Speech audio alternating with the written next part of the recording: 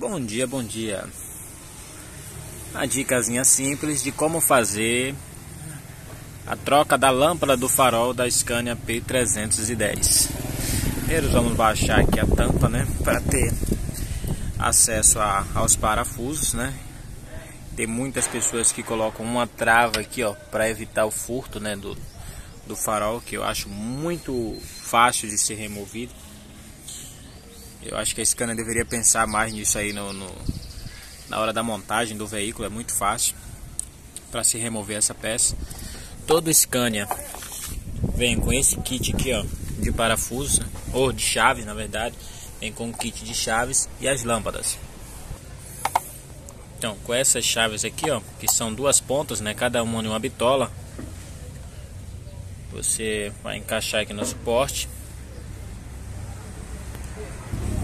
E aqui você pode observar, ó, vai ter um parafuso em cima, outro aqui,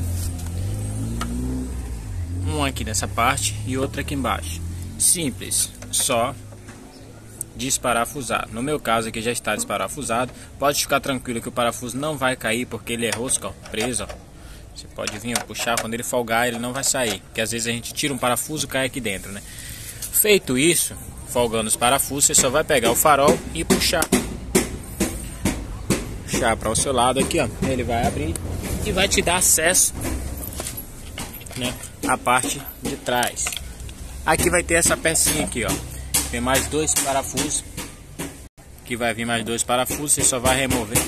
Você só vai remover os parafusos, fazer remoção e ter acesso à lâmpada. Retirando a lâmpada, né? Faz a substituição por outra lâmpada. Fechou novamente, né? Reapertou os parafusos, tá tudo certo. Mas como que é esse processo aí de facilidade, né, de roubar um farol?